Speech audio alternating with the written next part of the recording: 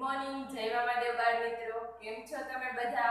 ચાલો બાળકો હવે આપણે આપણા વિષય હિન્દીમાં. અહીંયા જો, મેં અહીંયા લખેલું છે, ગોળાકાર કરો અને શબ્દ લખો. હવે અહીંયા એક આ બોક્સ આપેલું છે. એ બોક્સમાં અલગ અલગ અક્ષરો લખેલા છે. આપણે એમાંથી શબ્દ ગોતવાનો છે. કે કયો શબ્દ બનશે? તમારે પણ મારી સાથે લખવાનું છે. હું તમને પીડીએફ મોકલીશ. તમે એમાંથી જોઈને લખી શકો છો. બાળકો, અત્યારે અહીંયા ખાસ ધ્યાન આપજો. અહીંયા સૌથી પહેલા તમારે સૂચના વાંચવાની કે ગોળાકાર કરો અને શબ્દ બનાવો. હવે આ બોક્સની અંદર, અહીંયા જો, આ બોક્સની અંદર અહીંયા શબ્દ આપેલા છે. આપણે પહેલેથી શરૂઆત કરવાની કે કયો શબ્દ બને છે આપણે જોવાનું. જો અહીંયા આપેલું છે ચ પછી શ ર બ, ત. તો પહેલી લાઈનની અંદર કયો શબ્દ બનશે બાળકો? સૌથી પહેલા અહીંયા ચ આપેલું છે. તો ચ સાથે આ શ બનશે. નહીં બને. શ ર, બ, ત. પાછળના ચાર અક્ષર આપેલા છે. તો એનો એક શબ્દ બનશે ને? અહીંયા પહેલો શબ્દ જે છે, પહેલો અક્ષર છે ચ તે આવશે નહીં. કેમ કે શરબત એક શબ્દ છે. પણ એની સાથે અહીંયા ચ આવે છે, તે આવશે નહીં. એટલે કે આપણે રાઉન્ડ કરવાનું કયા શબ્દ ઉપર? તો કે શ ર, બ ત જો, હું અહીંયા બોક્સ કરું છું.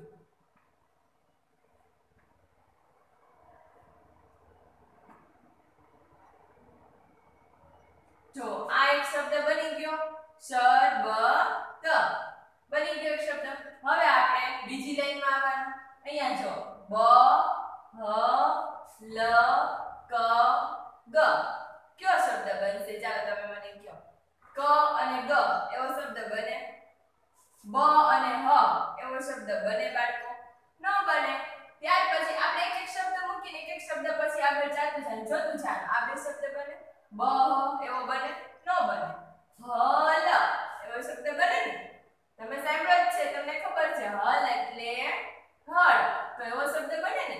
તો આપણે એ શબ્દ પર તે બોક્સ કરીશું. બની ગયો આપણો બીજો શબ્દ. જે શબ્દ બને છે તે આપણે એક બાજુ લખવાના છે. પણ પહેલા આપણે શબ્દ ગોતી લઈ પછી લખશું. ચાલો, ત્યાર પછી. અ છે, દ છે, ર, ક અને ઘ.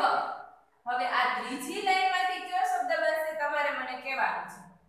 અ, દ, ર, ક ખ કયો બનશે.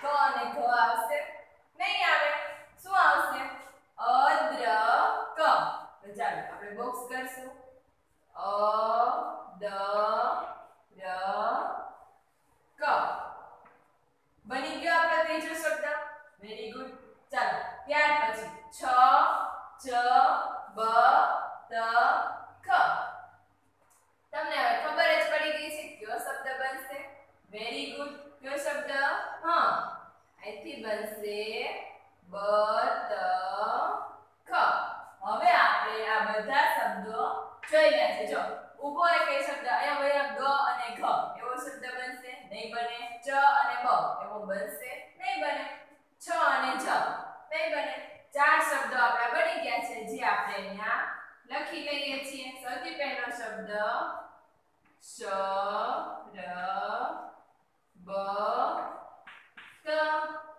શરબત. ત્યાર પછીનો બીજો શબ્દ છે હ, લ.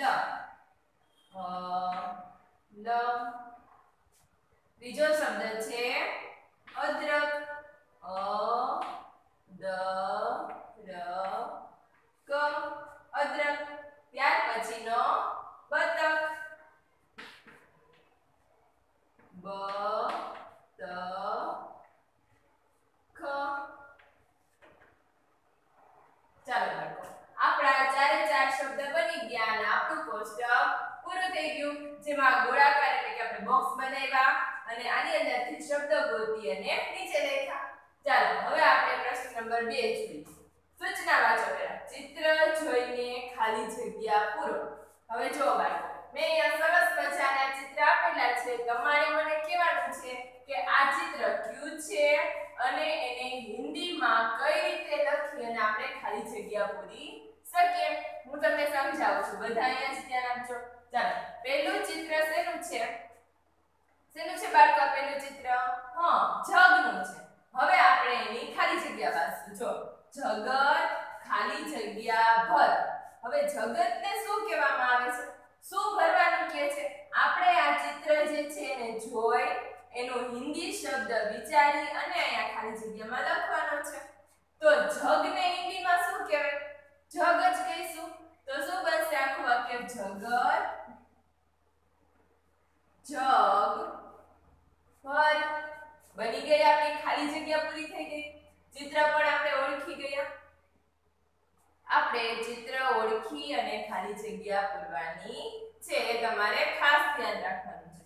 ચાલો, અને ખાલી જગ્યામાં ગુજરાતી નહીં, પણ હિન્દી શબ્દો લખવાના છે. ચાલો, હવે બીજું ચિત્ર. અહીંયા શેનું ચિત્ર છે? કપનું.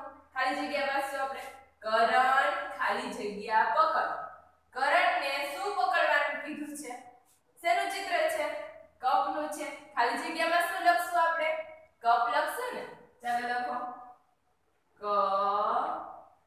પ આખું વાક્ય બોલો ચાલો કરણ કપ પકડ કરણ કપ પકડ ચાલો આપણી બીજી ખાલી જગ્યા પૂરી થઈ ગઈ બીજી ખાલી જગ્યામાં આવી જાઓ શેનું ચિત્ર છે બતકનું ચિત્ર છે આપે છે. ખાલી જગ્યા સરસર ચલ. સરસર કોણ ચાલે છે બાળકો? ખાલી જગ્યામાં આપણે ચિત્રનું લખીશું. હિન્દીમાં બતકને શું કહેવાય? તમને ખબર શું કહેવાય? બ ત ખ બ ત ખ ગુજરાતીમાં બ ત ક કહી છી પણ હિન્દીમાં બ ત ખ કહીશું એ ખાસ ધ્યાન રાખવાનું છે જો તમે અહીંયા ક લખો તો આપણી ખાલી જગ્યા ખોટી પડે. બતક, સરસર, ચલ. ત્યાર પછી શેનું ચિત્ર છે? વેરી ગુડ શેનું છે? બસનું ખાલી જગ્યા વાંચો. અજય ખાલી જગ્યા પર ચઢ. અજયને ક્યાં ચડવાનું કીધું છે? ક્યાં ચડવાનું? બસમાં વેરી ગુડ અહીંયા લખશું. બ સ અજય બસ પર ચઢ ફરીથી આપણે એક વખત જોઈએ જગત જગભર જગતને શું કરવાનું કીધું છે જગ ભરવાનું કરણ, કપ, પકડ. કરણ શું કરે છે? કપ પકડે છે. બતક. બતક સરસર ચલ. બતક કેવી રીતના ચાલે છે? સરસર અજય બસ પર ચડ અજય ક્યાં ચડે છે? બસમાં. આવી રીતના તમને ચિત્ર જોઈને ખાલી જગ્યા પૂરતા આવડવી જોઈએ. તમે સરસ મજાની ચાર ખાલી જગ્યા શીખા. આપણે જેમ જેમ આગળ ભણીશું, તેમ તેમ આગળ આગળ નવું નવું શીખશું. તો ચાલો બાળકો. ત્યાં સુધી તમે આ સરસ મજાનું તમારી બુકમાં આવું બોક્સ બનાવીને, એમાં સરસ રાઉન્ડ કરીને શબ્દો લખી લેજો અને તમે આ ખાલી જગ્યા લખી લેજો, જે તમે સમજી તો ગયા જ છો. આવું સરસ મજાનું હોમવર્કમાં તમારે આ ખાલી જગ્યા અને આવડા બોક્સ બનાવીને લખવાનું છે, જે હું તમને પીડીએફમાં મોકલીશ જ. તમે સમજી ગયા ને બાળકો કઈ રીતે લખવાનું છે?